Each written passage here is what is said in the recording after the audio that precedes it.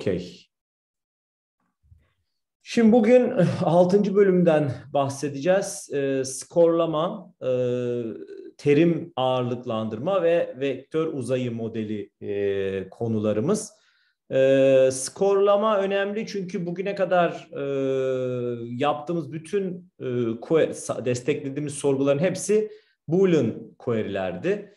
E, dolayısıyla bir query'e bir e, döküman ya match ediyor ya match etmiyor. Dolayısıyla mesela bir kelime orada ya var ya yok. İşte iki kelime and'li vesaire ise o iki kelime birlikte var veya bir tanesi yok e, gibi gibi. Şimdi burada e, tabii normal şartlar altında document collection'da ona match eden e, dokümanların sayısı genelde oldukça fazla oluyor. Ee, bu meç eden dokümanların e, bu fazlalığından dolayı biz aslında meç eden dokümanları e, o query'deki terimlere göre bir şekilde önem sırasına göre sıralayabilsek e, artık o önemi nasıl belirleyeceksek bu bölümde ondan bahsedeceğiz. O zaman aslında daha mantıklı bir sonuç verecek. Yani örneğin işte Merve Akçakaya dedik. Merve Akçakaya ile ilgili 100 bin tane doküman varsa Google'da işte hadi Merve ve Akçakaya'yı içeren bin doküman olsun atıyorum kullanıcılara bu bin dokümanı göstermek yerine hem de hepsi eşit e, dediğim iyilikte bin doküman göstermek yerine aslında hangi doküman Merve Akçakoya'dan daha fazla bahsediyorsa o dokümanları daha önde göstermek, yukarıda göstermek daha mantıklı olacaktır. İşte skorlamanın bize vereceği şey aslında bu olacak ve burada ilk defa ranking'den bahsedeceğiz. Yani sıralamadan bahsedeceğiz. Zaten skorlama olduğu zaman hemen işin içine sıralama da giriyor. Nasıl e, elde edilen sonuçları sıralarız.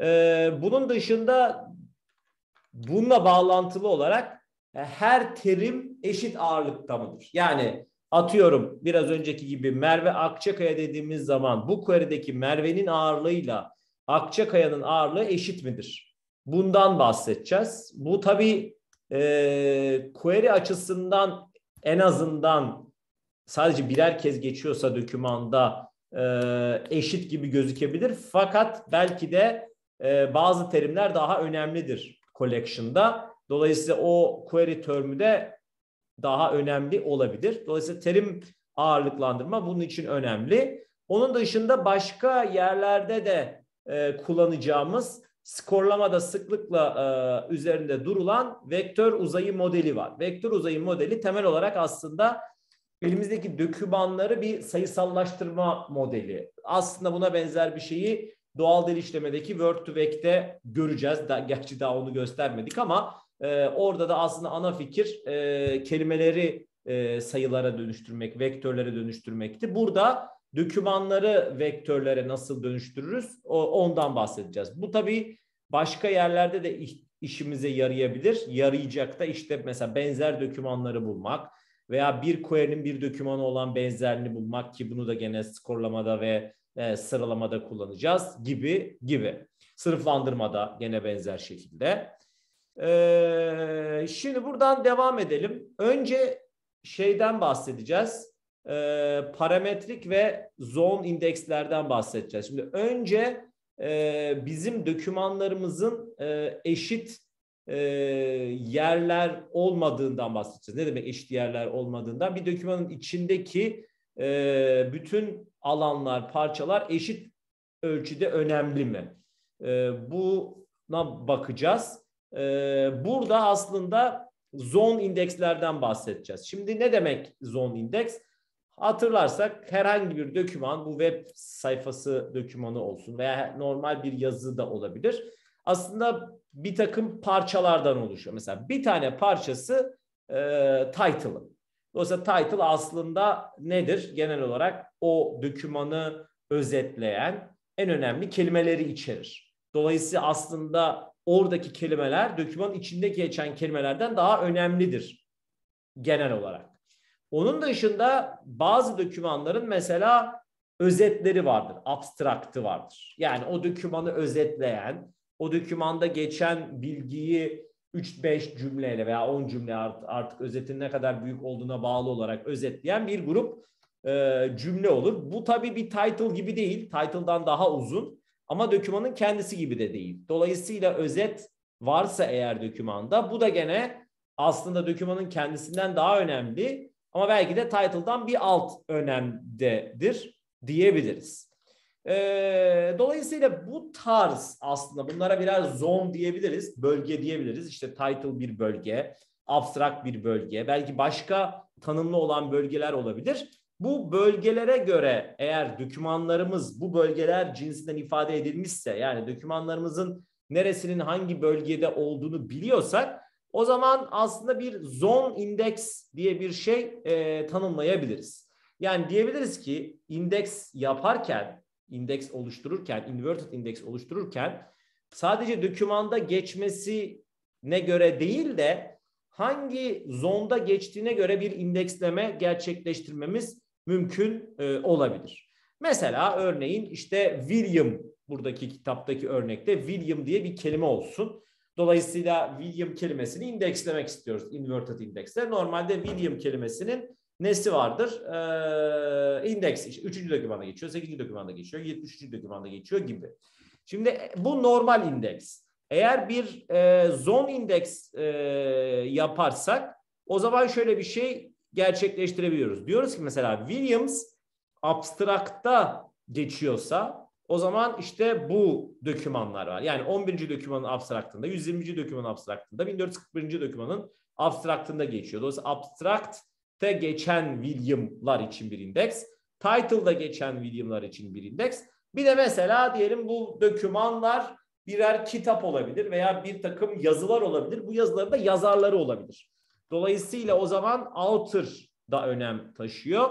Dolayısıyla adam mesela William Shakespeare e, dediği zaman, William Tell, William bilmem kim dediği zaman burada o William author olması önemli. Demek ki belki de onları önce çıkartmak lazım. Dolayısıyla author indeksi de buraya koymuş. Bunun gibi başka indekslerde tanımlanabilir. Zaten daha önce bahsettik.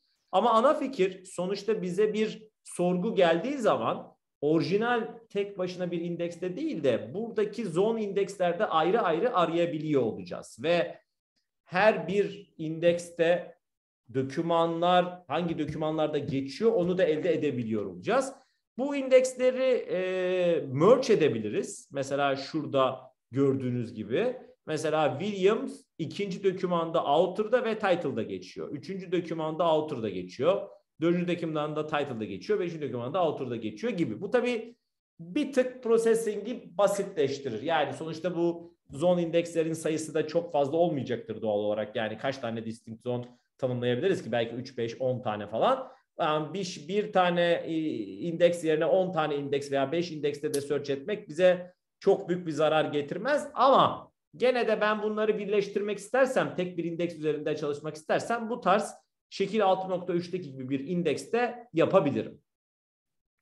Bunu yaptıktan sonra yani bunu yapmamızın amacı ne peki? Bu, çünkü e, yani in the end e, bize bir query geldiği zaman William e zaten bunun ikinci dokümanda geçtiğini biliyoruz. Author'da da geçse, title'da da geçse ikinci dokümanda geçiyor. A, üçüncü dokümanda geçtiğini biliyoruz da ama peki bu author title'da geçmesini nasıl işin içine katacağız? Çünkü işin içine katmamız için bunların aslında ağırlıklandırılması lazım. Çünkü ağırlıklandırılmazsa eşit ağırlıkta olursa e, yani eşit ağırlıkta derken herhangi birinde geçiyor olursa o zaten Boolean query olur. Ama bir ağırlıklandırma yapabilirsek, işin içine katabilirsek o zaman aslında bazı kelimelerin birden çok yerde geçtiği zaman daha çok puan aldığını, bazı kelimelerin ise bir yerde geçtiği zaman daha az puan aldığını göreceğiz. Örneğin mesela gene bu William üzerinden gidecek olursak, örneğin author'ın e, ağırlığı title'dan daha yüksekse örneğin, bu durumda sadece şu cevaplara bakarak aslında ikinci dokümanın daha önemli bir doküman olduğunu, çünkü hem author'da hem title'da geçtiği için, 3 ve 5. dokümanların onun bir altında önem taşıdığını, dördüncü dokümanın ise onların da bir altında önem taşıdığını anlayabiliriz. Çünkü author title'dan daha değerliyse o zaman böyle bir sıralama yapacaktık. Tabii bunu sayısallaştırmadan yani biz dört tane değer gördüğümüz için bunu gözle karar verebiliyoruz ama sayısallaştırırsak bunu hesaplaması da çok kolay olur. Bu sıralamayı gerçekleştirmemiz de çok kolay olur. Dolayısıyla bir skorlama mekanizması koyuyoruz. Buna ağırlıklandırılmış zon, bölge e, skorlaması diyebiliriz. Her bölge için bir katsayı belirliyoruz. Bu katsayıları kitap GI olarak e, göstermiş. Dolayısıyla GI dediğimiz şey ağırlıklara karşılık geliyor ve e, bu e, her birinin ağırlıkların toplamı da bir oluyor tabii ki. Yani ağırlıklı olduğu için e, normalize edilmiş ağırlıklarda hatırlarsak yine machine learning'de e, olasılıkları bire toplaması gibi normalized scoring'lerdeki gibi burada da gene toplamlarının bir olmasını istiyoruz. Ve ondan sonra da herhangi bir e, dokümanın skoru aslında şu şekilde hesaplanıyor. Yani her bir terim o e, zonda kaç kere geçiyorsa o zonun ağırlığıyla çarpılıyor. Hiç geçmiyorsa sıfırla çarpıldığı için o zonun bir etkisi olmuyor. Dolayısıyla mesela diyor ki e, Shakespeare diye bir collection'ımız olsun. Üç tane de e, zonumuz olsun. Bunların ağırlıkları da 02, 03 ve 05 olsun. Author, title ve body şeklinde. Şimdi bu durumda diyelim Shakespeare, title ve body de geçiyorsa o zaman 03 artı 05'ten 08 alacak. Eğer sadece author'da geçiyorsa 02 alacak gibi diyoruz. Şimdi bunu işin içine katan e, bir e, skorlama mekanizması nasıl gerçekleştirilebilir? Burada aslında iki tane posting listi weighted zone scoring ile hesaplamayı bahsediyoruz. Şimdi diyelim iki tane kelime var. Mesela bir and e, ten oluşan. Bu iki do, dokümanı, e, bu iki terimi e, Q e, olmak üzere bunların posting listlerini elde ediyoruz P1 ve P2 ile. Sonra e, P1 ve P2 e, ardından P1 ve P2 şey olmadığı sürece aslında iterasyonu gerçekleştiriyoruz. Bakın bu aslında önceki intersection'dan hiçbir farkı yok. Yani e, dokümanda e, eş e, iki dokümanda birden geçiyorsa, iki posting liste birden geçiyorsa o zaman onun ne yapıyoruz? Skorlarını weighted zone'la hesaplıyoruz. Dolayısıyla bunu skorları oraya ekliyoruz dokümana ve bunun sonucunu elde ediyoruz. Diğer durumlarda ise document ID'leri ilerletiyoruz. Ee, şimdi tabii bu şekilde yaptığım zaman çok bir e, yani bir ağırlıklandırma yapmış olacağız. Bu ağırlıklandırmaya göre de aslında e, sonuçları elde etmiş olacağız. Bu skorlara göre de aslında skor bir array olacak ve her dokümanın bir skoru olacak. Eğer o kelimeler geçmiyorsa o zaman zaten e, oradan sıfır alacak. Başka dokümanlarda geçiyorsa da o zaman e, onlardan e, ona göre değerler alacak. E, şimdi peki ağırlıkları nasıl öğrenebiliriz? Bir de o meseleden bahsedelim. Yani bu ağırlıklar biz kafadan mı atacağız? Yani işte oraya 0.2 verdik, buraya 0.3 verdik, buraya 0.4 verdik, bu şekilde oldu mu gibi. E, bunun için tabii ki gene geçen e, NLP dersinde anlattığımız daha doğrusu ondan önce sınıflandırma machine learning'de anlattığımız bir machine learning algoritmasına ihtiyacımız var basically. Çünkü bu bir aslında lineer model. Daha önce de anlattığımız machine learning'de bir lineer model. Dolayısıyla lineer modelin aslında ağırlıklarını öğrenme problemine karşılık geliyor. Basitçe geçen derslerden hatırlarsak bir error fonksiyonu belirlememiz lazım. Bu error fonksiyona göre de bu ağırlıkları optimize etmemiz lazım. Peki error fonksiyonu nasıl belirleyeceğiz burada? Ne hata olacak? Ee, bir şeyi hata olarak söyleyebiliyor olmamız lazım. Burada da şöyle bir şey yapacağız. Şimdi dokümanın e, içinde e, bu query'nin bu dokümana relevant olup olmadığını söylüyor olmamız lazım. Dolayısıyla belli e, şeyler olacak. Mesela Linux query'si burada örnek şekil 6.5'ten bahsedilmiş. Linux query'si e, dokümanın e, T'sin iki tane parçası var. Şimdi detaylı e, bakayım ona. Bir tanesi T parçası title, diğeri de B yani body. Dolayısıyla Linux query'si bu doküman için title'la e, da var mı? Body'de var mı? Bunlar aslında öğrenilecek bir şey değil. Bunlar zaten direkt e, dokümandan elde ediyoruz işte e, lemmatization veya işte neyse e, yaptıktan sonra e, dictionary elde ettikten sonra zaten bu term'ün bu e, title'da veya body'de geçtiğini biliyoruz. Dolayısıyla şu sütunu doldurmak kolay. Bunun için bir şey yapmıyoruz. Burada bir kullanıcı kullanıcı ihtiyacımız yok. Mesele şu. Bu query bu dokümanla alakalı mı? Buna birinin bakması gerekiyor. Yani biri bakacak diyecek ki ha bu terim e, bu query bu doküman dokümanda görecek relevant mı değil mi? Bunu işaretleyecek. Şimdi buna burada judgment deniyor. Aslında label, class label'ı olarak da düşünebilirsiniz e, machine learning açısından. Burada tabii iki tane class label'ı var. Relevant veya non-relevant gibi. Dolayısıyla kullanıcının bunları işaretlediğini düşünelim. Kullanıcı bunları e, işaretledikten sonra burada tabii sadece iki tane zon var. Diğer zonlar da varsa o zaman onlar da aynı şekilde olacak. O zaman bizim elimizde aslında her bir e, ST, SB sütunu için bir tane judgment'ımız olmuş oluyor. Bu judgment'ımızda bir sınıf değeri yani bir ya da sıfır gibi. Burada weight'lerimiz de var. İki sınıflı olunca zaten e, pardon iki e, zonlu olunca birinin ağırlıklığı G olacak. Diğerinin ağırlığı 1 eksi G olacak mecburen toplamları 1 olduğu için. Dolayısıyla tek bir parametre var gerçekten öğreneceğimiz. E, dolayısıyla bu şekilde bir skorlama yapabiliriz. Yani bu SB yerine şu ST1, SB1 yerine 1 yazacağız.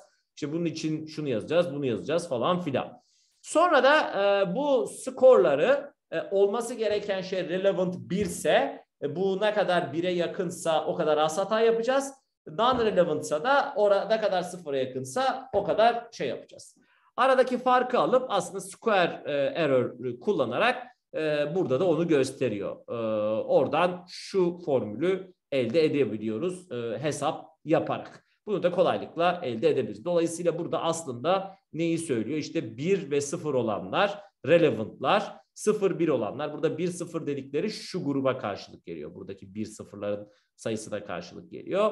İşte 0-1 non-relevantları topla sonra da bu sayıya böl. Bu sana G'yi verecektir. Tabii bunu sadece bir tane değil de diğerleri için yaparsak da çoklu weighting zone indeksi yaptığımız zaman da aslında aynı hikayeyi yapmış olacağız. Sadece tek değişen şey e, buradaki sütunların e, sayısı olacak. Bir de weight'ler bir tane olmayacak da işte kaç tane sütun varsa o kadar weight olacak. E, burayı geçiyoruz. Şimdi geliyoruz e, esas e, te, e, terimlerin frekanslarına ve ağırlıklarına. Şimdi terimlerin frekansı e, önemli mi? Veya terimlerin frekansı bir query için bir e, öncelik getirir mi? Evet getirir. Yani mantıksal olarak e, neyi düşünmemiz lazım? Bir terim bir dokümanda kaç kere geçiyor? Bunu e, TFD TD olarak gösteriyoruz. Yani T terimi D dokümanında kaç kere geçiyor olduğu anlamına geliyor. Şimdi tabii bizde normalde bu sayı yüksekse mesela Merve Akçakaya'yı search ediyorsak bir dokümanda bir defa Merve bir defa Akçakaya geçiyorsa muhtemelen o doküman tamam Merve Akçakaya ile alakalıdır ama mesela atıyorum Merve Akçakaya'nın bilmem ne dersinde aldığı not olabilir. Ama Merve Akçakaya'nın CV'sine bakarsanız orada Merve Akçakaya'nın bir sürü kez geçtiğini göreceksiniz. Veya Barbaros Durusoy atıyorum işte masa tenisi şampiyonasına katılmış birinci olmuş. Orada sekiz kez çıktı. O zaman ha demek ki bu doküman Barbaros Durusoy ile alakalı diyebiliriz. Dolayısıyla kaç kez geçtiği önemli bir dokümanın, e, bir terimin bir dokümanda geçtiği. E, bununla ilgili de aslında e, siz bazı şeyleri günlük yaşamda görüyorsunuz. Örneğin burada da bahsedelim. Genelde ben bu aşamaya geldiği zaman bundan sıklıkla bahsederim derslerde. Web tarayıcı, web sitesi yöneticileri, editörleri Google'ı veya ona benzer arama motorlarını kandırmak için, kendilerini üste çıkartabilmek için aynı terimleri defalarca tekrarlama stratejisine giderler. Örneğin işte e, standart bir örneği diyelim LGS sonuçları açıklanacak. Veya işte kira artışı, Mayıs kira artışı önemli bu aralar kiralar hızlı arttığı için. Mayıs kira artışını insanlar merak ediyor. Bir sayfa yapıyorlar şöyle başlıyor. Mayıs kira artışları belli oldu mu? Aşağı geçiyor. Mayıs kira artışı henüz belli olmadı. Mayıs kira artışını merak etmek istiyorsanız aşağıya bakın. Mayıs kira artışı yarın açıklanacak. Aşağıki paragrafa geçiyoruz. Mayıs kira artışı şu olacak ve sürekli olarak aynı kelimeleri tekrar ederek aslında count'u arttırmaya çalışıyorlar. Bu count'u arttırmanın sebebi işte buradaki term frequency meselesi. Birazdan geleceğiz. Term frequency indekslemede bir e, katsayı olarak işin içine giriyor. Dolayısıyla o dokümanlar aynı frekans sıklıkla geçiyorsa e, onu daha üstte e, gösteriyor. Tabii bunu e, anlayabilmek için normalde cümle analizi vesaire yapması lazım e, döküman analizcilerinin. Ama gördüğümüz gibi bu sistemlerde öyle bir şey yok zaten. Çünkü her bir kelimenin kaç kere geçtiğini tutuyoruz sadece. Öbür türlü yaparsak zaten şu anda bile indekslerimiz çok büyük. Öbür indekslemeler çok çok daha e, karışık hale gelir. Belki de az döküman varsa öyle bir post processing yapılabilir ama şu anki setup'ta bu çok kolay değil. Evet, dolayısıyla term frequency dediğimiz şey önemli ama bu tabii ki bag of words meselesini ortaya çıkarıyor. Zaten bundan da daha önce bahsetmiştik NLP'de. Dolayısıyla Mary is quicker than John'la John is quicker than Mary arasında hiçbir fark yok. Çünkü ikisinde de John ve Mary is ve quicker ve than birer kez geçiyor. Konseptüel olarak tamamen farklı bir şeyi anlatıyor olsa da. Peki şimdi gelelim ee, peki bir kelimenin bir dokümanda çok geçmesi önemli. Ama nasıl kelimeler var? Mesela ve, veya, İngilizce için and, the. Bunlar bir sürü dokümanda bir sürü kez geçiyor. Bunlar gerçekten önemli değil aslında. Çünkü neden? Bir kelime teorik olarak ne kadar çok dokümanda geçiyorsa o kadar aslında etkisiz bir terimdir diyebiliriz. Yani işte dünyada atıyorum milyarlarca doküman var. Bu milyarlarca dokümanın hepsinde Merve geçiyor mu? Geçmiyor. Çok azında Merve geçiyor. Veya ama kaçında V kelimesi geçiyor? Muhtemelen milyar seviyesindeki dokümanda, milyar belki olmayabilir ama yakın dokümanda V kelimesi geçiyor. O zaman V kelimesi o kadar anlamlı bir kelime değil Merve kelimesine göre. İşte bunu nasıl anlayacağız? Bunu bir şekilde işin içine katabilmemiz lazım. Böylece V'nin o çok geçme sıklığını sıklığından gelen avantajını yok edebilelim veya azaltabilelim. Bunun için de bir inverse document frequency diye bir e, ayrı bir e, katsayımız olacak. Bu dikkat ederseniz döküman frekansı tersi demek. Ne demek döküman frekansı tersi? Bu şu demek bir kelime distinct kaç dökümanda geçiyorsa ama her biri birer kez sayılmak üzere. Yani isterse o dokümanda 500 kez geçsin o bir sayılacak. Bir kez geçsin gene bir sayılacak. Yani toplam dokümana baktık. Bu kelime geçiyor tamam. Bu kelime geçiyor tamam. O zaman o sayıya inverse document frequency diyoruz. İşte bakın burada mesela try kelimesi toplam tüm koleksiyonda 10.422 kez geçmiş ama aslında 8.760 dokümanda geçmiş. Yani bu şu demek try bir sürü dokümanda aslında birer kez geçiyor. Çünkü 10.000 kez geçtiği için toplam distinct geçtiği doküman sayısı da 9.000 olduğuna göre aşağı yukarı bunu buna bölersek bir dokümanda bir kez falan geçiyor. Yani her dokümanda bir kez geçiyor gibi. Ama buna karşılık insurance kelimesi gene e, collection frequency aşağı yukarı try kadar geçerken doküman frequency neredeyse yarısı hatta yarısından daha az kadar. Dolayısıyla insurance bu dokümanlarda geçtiği zaman 2-3 kez geçiyor. Dolayısıyla bu açıdan bakıldığında insurance kelimesinin try kelimesinden daha önemli olduğunu anlayabiliyoruz. Bu sebepten de ters orantıyı kullanıyoruz. Ters orantı neydi? Bir şey ne kadar çoksa o kadar kötü, bir şey ne kadar azsa o kadar iyi. Dolayısıyla biz ters orantı yapmak için bunu toplam döküman sayısına bölüyoruz. Yani geçme sıklığı, farklı dökümanda geçme sıklığında df document frequency dersek n'e böldüğümüz zaman bu n bölü df. Dolayısıyla şöyle düşünün. Bu o, terim tek bir dökümanda geçiyorsa bu log n değerini alacak. Eğer bütün dokümanlarda geçiyorsa bu log 1 değerini alacak ki biliyoruz log 1 nedir? Sıfır. Yani hiçbir etkisi olmayacak basic. Yani bütün dokümanlarda geçen kelimenin etkisi sıfır olacak. Peki o zaman e, bizim elimizde iki tane metrimiz var artık. Term frequency dediğimiz şey bir terimin bir dokümanda kaç kez geçtiği bunun çok olması bizim için avantajlı. Bir de bir terimin e, bütün diğer dokümanlarda ne kadar geçtiği ki o bütün dokümanlarda geçiyorsa o kadar da dezavantajlı. Bu iki terimi birleştirmemiz lazım. Burada e, bu iki sayıyı birleştirmek için genelde kullanılan yöntem çarpmak. Dolayısıyla e, TF-IDF weighting deniyor. Sıklıkla duyarsınız. TF-IDF bununla bağlantılı. O zaman mesela burada bir örnek verilmiş. İşte e, kar kelimesi bu kadar e, dokümanda geçiyor. Burada bunu IDF olarak 1.65 yapmış. Auto bu kadar 2.05. Dolayısıyla burada mesela şeyi görüyoruz. İşte mesela otonun daha önemli bir terim olduğunu. Şimdi TF-IDF'leri belirlediğimiz zaman da e, o zaman ne işe yarıyor? TF-IDF ne zaman yüksek oluyor? Bir terim bir dokümana özgüyse, birkaç dokümana özgüyse, bir gruba özgüyse yani o grupta geçiyorsa ve çok geçiyorsa ve buna karşılık diğer dokümanlarda geçmiyorsa o terim o doküman için çok ağırlıklı olmuş oluyor. Dolayısıyla bir buradan otomatik olarak şuna e, geçiyoruz. e, her bir döküman aslında bir vektör gibi düşünebilirsiniz.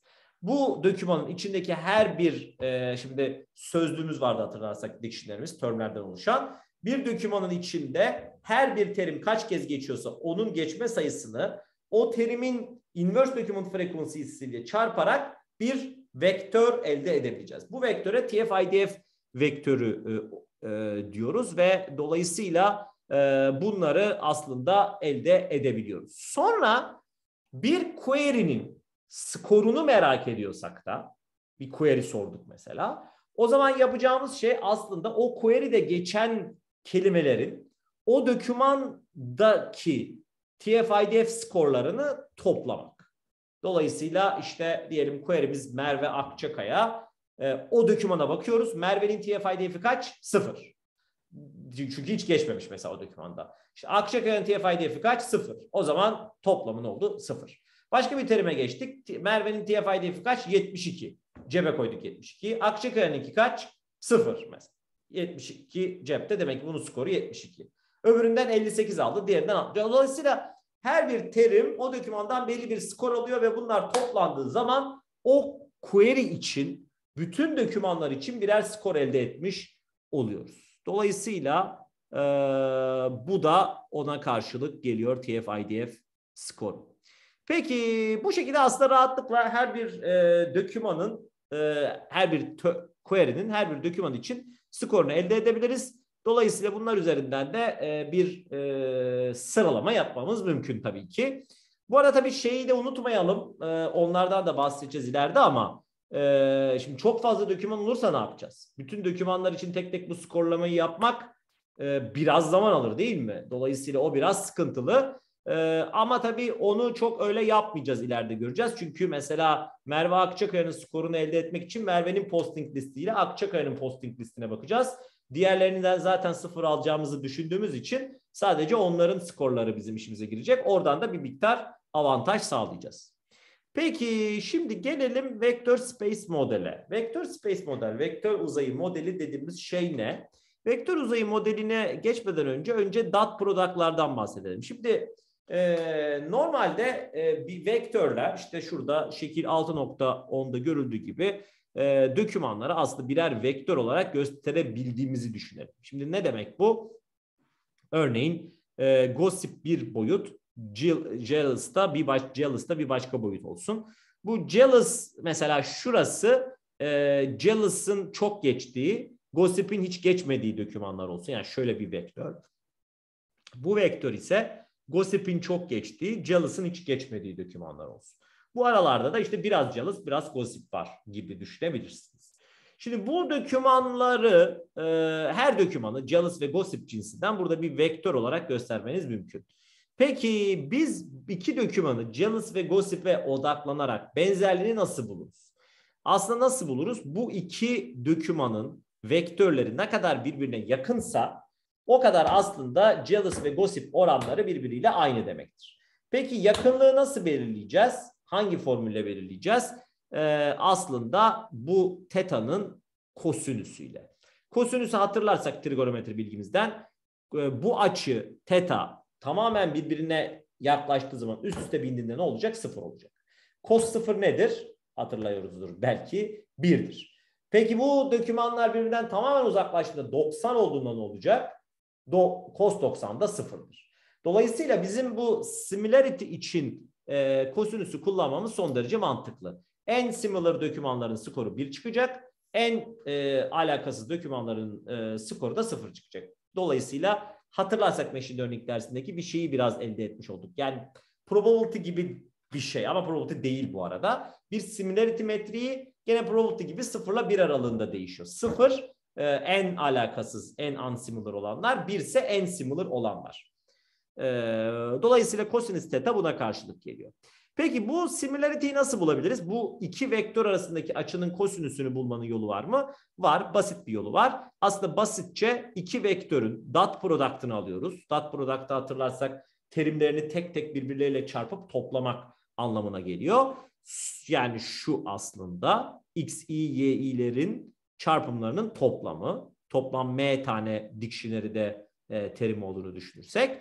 E, Bu ise vektörlerin uzunlukları. Dolayısıyla bu VD1 dediğimiz şey birinci dokümanın uzunluğu. O da şu şekilde hesaplanıyor dikkat ederseniz. E, ikincisi de bunun uzunluğu gibi. E, bunları uzunluğu niye kullanıyoruz? Çünkü uzunluk bir normalizasyon sağlıyor. Neden? Çünkü mesela atıyorum bir dokümanın ağırlıkla mesela jealous ve gossip için düşünecek olursak 2-2 olsun. Başka biri de 1-1 olsun. Şimdi 2-2-1-1 aslında aynı şeyler. Neden? Çünkü biri sadece diğerinin iki katı. Nasıl anlıyoruz aynı olduğunu?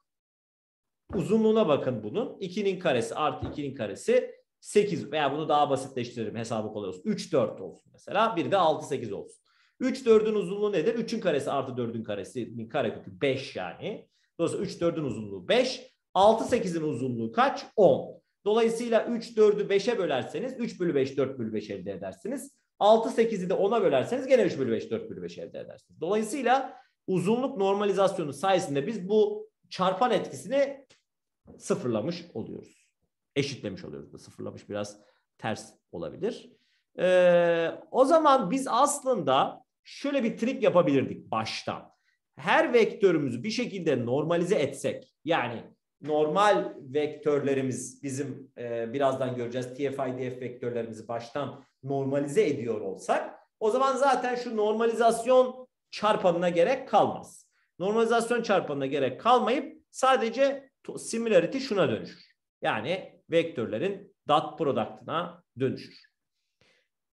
Peki o zaman e, burada aslında e, şeyi görüyoruz. TF-IDF'leri kullanarak bir vektör elde edebileceğimizi görüyoruz. Ama bunlar dokümanlar için. Query'ler için de aynı şeyi yapabilir miyiz? Evet yapabiliriz. Query'ler için de bir e, vektör space yapabiliriz ama query'lerdeki vektör space çok daha basit. Çünkü neden? Bir query'de geçen terim sayısı çok daha az. Dolayısıyla onun için aslında sparse bir vektörümüz olacak. Örneğin diyelim jealous gossip e, query'sini ele alırsak burada zaten iki, iki tane terim var. Bunları normalize ettiğimiz zaman aslında 0.707 0.707 elde ediyoruz. 1 bölü kök 2 1 bölü kök 2 gibi. Çünkü karelerin toplamı 1 oluyor gibi. Sonra e, şimdi bu query'yi e, bu şekilde bir vektör olarak görüyorsak o zaman biz aslında bir dokümanın bir query olan uzaklığını bunların ve uzaklığını derken aslında uzaklık değil similarity'sini, benzerliğini bunları çarparak elde edebiliriz. O zaman mesela e, query'miz jealous gossip olsun. Bu durumda içinde sadece jealous ve gossip geçen ve bunlar da eşit oranda geçen dokümanlar aslında bu query en benzer olan dokümanlar olacaktır. Dolayısıyla similarity'leri 1 olacaktır. İçinde hiç jealous veya hiç gossip geçmeyen, ikisi de geçmeyen dokümanlar da en uzak dokümanlar olacaktır. Çünkü onların çarpanı sıfır olacaktır gibi. Peki e, o zaman e, bunu bu şekilde ifade edebiliyoruz e, skorlama açısından. Normalizasyonu yaptıysak alt tarafta zaten otomatik olarak kayboluyor. E, burada da işte şeyi görüyoruz. Bakın e, TF, IDF değerlerini mesela auto, best, car, insurance. Query'miz varmış, dokümanımız varmış. Mesela bir dokümanımız böyle. E, TF ve WF'imiz bu, WTD'miz bu. İşte best için bu, e, işte e, car için bu, insurance için bu. Mesela e, burada e, değişik query'ler için mesela e, query'miz best car insurance olduğu için aslında e, auto o query'de geçmiyor. Dolayısıyla auto o e, şey için sık sıfır skorunu alacak. Dolayısıyla e, auto geçenin hiçbir etkisi yok. Buna karşılık best'te dokümanda hiç geçmiyor. Best'te dokümanda hiç geçmiyorsa o zaman onun da hiçbir katkısı olmayacak, sıfır olacak. Car ve insurance ise dokümanlarda geçiyor ve e, ama bunlar e, query'de e, geçme sıklıkları üzerinden bu bir iki skor alıyor. Bu da 3 skor oluyor. Burada da TF ve WF'ler de burada var. Bunlarla çarpılarak şu sonucu elde ediyoruz gibi. Son skor bu dokümanın bu Auto Best Car ve Insurance'dan aldığı skorsa şu skorların toplamı kadar oluyor. Yani işte 0 artı 0 artı 0.82 artı 2.46 3.28 oluyor. Peki o zaman e, sonuç olarak e, skorları nasıl elde edebiliriz? E, bir e, elimizde document collection varsa O zaman onu da şekil, şekil 6.14'te görüyoruz. İlk başta bizim skorlarımız var. E, n tane bütün dokümanlar için. Bunların uzunluklarını elde ediyoruz. Dokümanların uzunlukları birbirinden farklı olabilir çünkü. Dokümanların uzunluklarına göre normalizasyon yapacağız birazdan. Sonra her query term için e, term term gezeceğiz demiştik. Hatırlarsak biraz önce bir 10 dakika önce bahsetmiştim. Merve Akçakaya örneğinde. E, diyelim her query term'ünü alıyoruz. Bu query term'ü için posting listi elde ediyoruz. Sonra e, bu posting listin için e, TF e, skorumuz var. O posting listi o terim için. Sonra da weight'imiz var. O weight ile bunu çarparak skora ekliyoruz. Dolayısıyla işte Merve'nin o doküman için, o posting listeki o doküman için e, ağırlığını aldık. W'su ile çarptık. Sonra da e, query'deki e, W ile çarptık. Skora ekledik. Bunu bütün posting listeler için yaptığımız zaman aslında skorlarımız oluşmuş olacak. Ama bunlar normalize skorlar değil. Çünkü atıyorum bir dokümanın içinde 100 terim var. Onların iki tanesi Merve ve Akçakaya ise bir doküman içinde 10 tane terim var. Bunların ikisi Merve Akçakaya ise ikinci doküman daha önemli bizim için. Çünkü birinci dokümanda çok fazla terim var. O zaten belki şans eseri Merve geçebilirdi. Ama öbür dokümanda daha az terim var. Dolayısıyla onun ağırlığının daha yüksek olması lazım. Dolayısıyla uzunluğa göre bir normalizasyon yapacağız. Sonra bu normalizasyonun ardından en yüksek K tane skoru biz döndürüyor olacağız. Neden? Çünkü e, en önemli K dokümanı istiyoruz. Top 10 doküman, top 100 doküman bunları göstermek istediğimiz için. Okey. Şimdi bunların dışında e, son olarak e, TF, IDF e, sonuçta biz bütün bu hikayeyi term frequency ve inverse document frequency için e, gerçekleştirmiştik. Şimdi bunların da bir takım varyantları var. Neden varyantları var? Çünkü bir kere term frequency dediğimiz şey bazıları için çok olabilir. Yani bir dokümanda atıyorum kitap olsun. 3000 kez geçiyor. 8000 kez geçiyor. Ee, başka bir yerde de bir kez geçiyor. Peki bu 8000 kez geçmesi o terimin 8000 kez daha değerli olduğunu mu anlamına geliyor? Hayır tabii ki. Yani 8000 çok büyük bir ağırlık. O yüzden de bunun bir e, scaling dediğimiz ağırlıklandırma diyebiliriz. Ağırlıklandırma değil yani normalizasyon da diyebiliriz. E, boyutlandırma da diyebiliriz. Yapmak istiyoruz. Dolayısıyla logaritmasını alıyoruz. Yani 8000 yerine logaritma 8000'i alıyoruz. Ama burada bir kez geçenleri sıfırlamamak için çünkü birin logaritması sıfır olduğu için başına da artı bir koyuyoruz. Dolayısıyla bir kez geçiyorsa burası sıfır oluyor ama buradan bir alıyoruz. 8000 kez geçiyorsa buradan log 8000 alıyor bir de buradan bir alıyoruz. Dolayısıyla TF e, bu ağırlığı aslında yani TF değerini bu şekilde WF'e dönüştürmüş oluyoruz. Başka bir normalizasyon tekniği de maksimum TF normalizasyonu. Yani diyor ki ki biz ben bu 8000 kez geçmeyi boş ver. E, ben diye logaritma demek istemiyorum ama buna karşılık şöyle bir şey demek istiyorum. Ben e, maksimum geçme sıklığı kaçsa en fazla o kadarlık bir skor alsın istiyorum. Dolayısıyla maksimum 10 kez geçme olsun. Ona göre bütün herkes normalize olsun. O zaman da bu maksimum TF normalizasyonu gibi bir normalizasyon değeri var. Burada e, bir A diye bir ağırlığımız var. Bu ağırlık adam bir kez bile geçse e, otomatik olarak onu cebe atması açısından. Dolayısıyla e, genelde 0.4 veya 0.5 e, smoothing terimi olarak kullanılabiliyor. E, bunların dışında e, burada tablo şekil 6.15'te tablo diyorum pardon. Şekil 6.15'te değişik normalizasyon, term frequency ve document frequency normalizasyonları var. Bu normalizasyonlar veya eşitlemeler, düzeltmeler istenildiği gibi kullanılabilir. Bunların kullanılmasına göre tabii skorlama değişecektir. İşte term frequency'yi normal alabilirim, logaritmasını alabilirim, augmented alabilirim, boolean alabilirim veya log average alabilirim. Bunların herhangi birini kullanabilirim. Yani term frequency elimde olduktan sonra bunlardan herhangi birini kullanabilirim. Document frequency dediğimiz şey DF değeri yani. İster normal alırım. Bu tabii stop word'ler için çok büyük avantaj sağlayacak. İster TFI, e, TF-IDF'deki IDF olayını alırım. İster de probabilistik IDF dedim. Bir tık ileri giderim. Onun dışında normalizasyon var. Dökümanın uzunluğuna göre normalizasyon. İstersem hiç normalizasyon yapmam. İstersem cosine normalizasyonu yaparım. İstersem byte'a göre bir normalizasyon yaparım veya pivot unique diye onu göstermeyeceğiz. Bir normalizasyon yapabilirim. Tabii ki sıfır normalizasyon daha uzun olan dokümanlara biraz daha avantaj sağlayacak. Cosine normalizasyonsa dokümanların uzunluklarını eşitleyecek. Tabii e, bunu query bazında mesela normalizasyon çok mantıklı olmayabilir. Dolayısıyla zaten query'de az terim olduğu için who cares about normalization diyebilirsiniz. Dolayısıyla bunların her birini aslında döküman için ve query için değişik varyantlarını yapabilirsiniz. O yüzden de şöyle bir smart notasyonu var. Döküman için bunlardan hangisini kullanacaksınız? Üç tane. Yani döküman için term frequency'yi normalize edecek misiniz? Döküman için dökümanı frekansı normalize edecek misiniz? Döküman için normalizasyon yapacak mısınız? Dolayısıyla bu üç tane şeyi D, D, D oluyor. Aynı şey query için, query için, query için. Dolayısıyla bu şekilde yapmış oluyoruz. Mesela LNC, LTC dediği şey işte döküman için logaritma normalizasyonu, document frequency'de normalizasyon yok. E, normal normalizasyonda da e, cosine normalizasyonu. Öbür için query için e, logaritm normalizasyonu var. Diğerinde direkt e, inverse document frequency kullanıyorum. Öbüründe ise normal cosine e, normalizasyonu var gibi düşünebilirsiniz. Bu kısmı da e, göstermeyeceğiz ve burada da